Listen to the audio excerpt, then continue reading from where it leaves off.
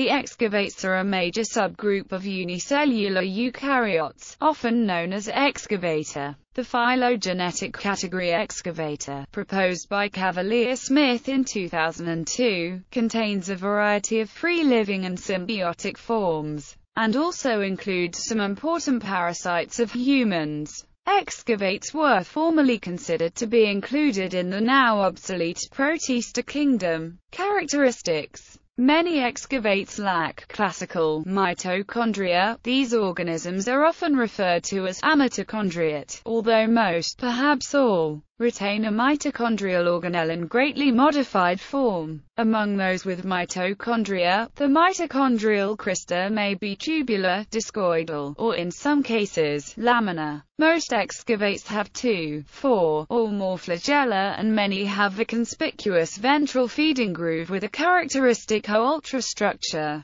supported by microtubules. However, various groups that lack these traits may be considered excavates based on genetic evidence. The closest that the excavates come to multicellularity are the Acrasidae slime molds. Like other cellular slime molds, they live most of their life as single cells, but will sometimes assemble into a larger cluster. Subgroups Excavates are classified into six major subdivisions at the phylum, class level. These are shown in the table below. An additional organism, Malawimonas, may also be included amongst excavates, though phylogenetic evidence is equivocal. Discoba or JEH clade euglenozoa and Heterolobosea appear to be particularly close relatives and are united by the presence of discoid crista within the mitochondria. More recently a close relationship has been shown between Discicristata and Jakobida, the latter having tubular crista like most other protists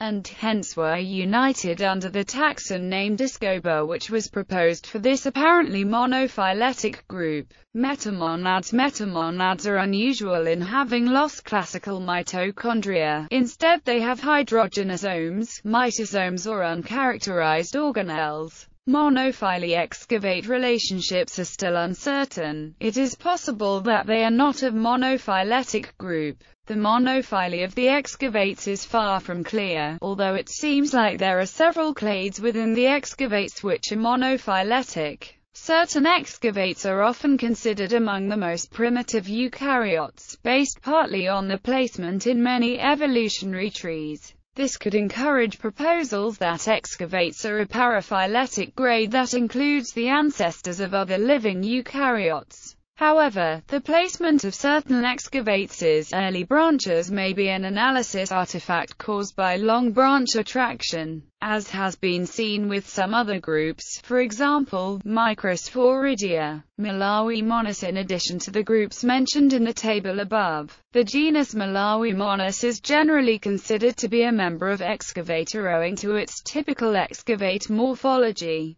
and phylogenetic affinity to excavate groups in some molecular phylogenies. However, its position among excavates remains elusive. Malawimonas appears not to belong to Excavata as it is close to Collodictyon which either appears close to Amoebozoa or they form a basal unikont clade together.